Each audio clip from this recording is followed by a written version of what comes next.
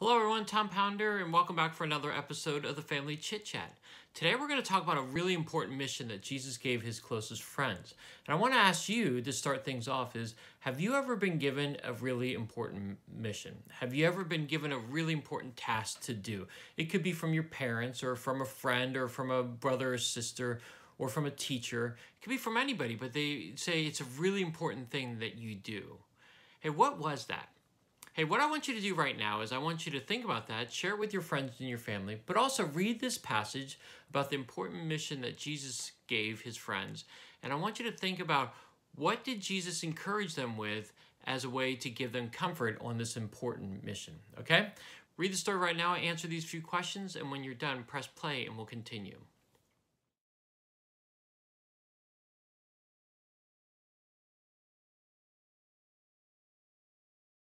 So Jesus had just risen from the grave. He spent some time with his friends, and now he's getting ready to go up to be with God.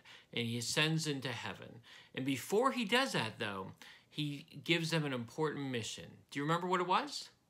It was to go and make disciples of all nations. Basically, it was saying, go and tell other people about Jesus and about God and help them come into a relationship with Him.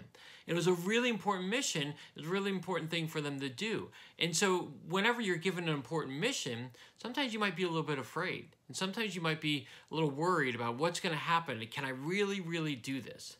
And I love the challenge that Jesus gives them at the very end of that, where he says, Go and tell other people about Jesus. He says, I will be with you. I will be with you. In fact, that's what our bottom line is today. Keep going because God is with you.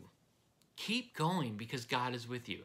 Hey, when you tell other people about Jesus, it can be really hard. It's not an easy thing to do because some people think that they don't need Jesus and they don't need God in their lives. But the cool thing is, what Jesus promises us is that He'll be with us. And so all we have to do is before we go and share about Him to other people and go tell people about Him, is that we can know that God is with us and spend time praying and say, God, please be with me at this time. And God is going to be with you. Again, because the bottom line is keep going because God is with you.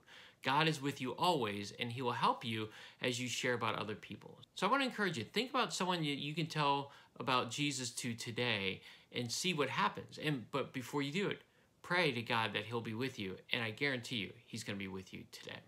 All right, as we wrap up today, I want to encourage you if you've got stories about how you felt God with you in the past when you've told people about Jesus, hey, put it in the comment section below. I would love to hear your thoughts on that.